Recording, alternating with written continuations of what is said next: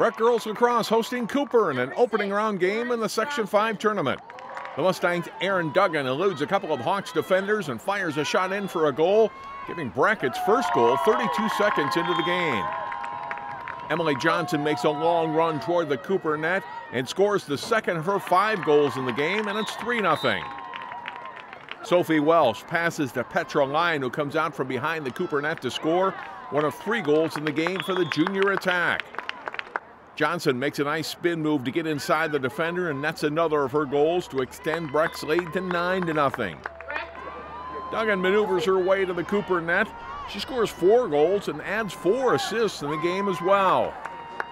Number seven, senior Lauren Ott scores twice in the game, including one here in the first half, as Breck goes on to win 22 to nothing. The Mustangs face third-seeded Wayzata in the section quarterfinals Friday at noon at Wayzata High School. John Jacobson, CCX Sports. Find more prep sports games and highlights at ccxmedia.org and follow us on social media.